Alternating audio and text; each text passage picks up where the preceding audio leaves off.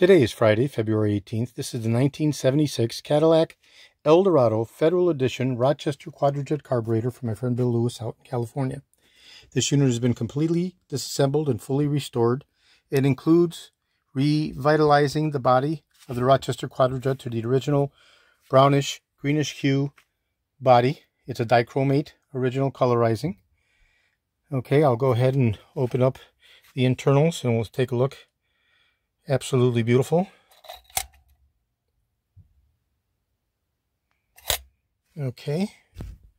And this has been performance tuned specifically to the 8.2 liter 500 cubic inch engine with the correct fuel mixture for the Federal Edition and not the California Edition and not the high altitude climates. Yes, there were differences in 1976.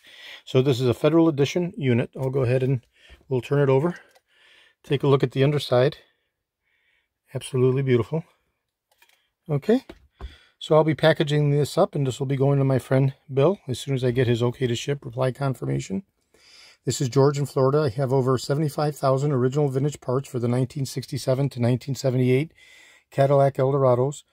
Over 375,000 Cadillac items overall from 1959 to 1978. I'm best known for my restoration of the Cadillac steering wheels steering columns, the power seat mechanisms, the instrument clusters, these original vintage carburetors fully restored, and other critical hard-to-source original vintage Cadillac items.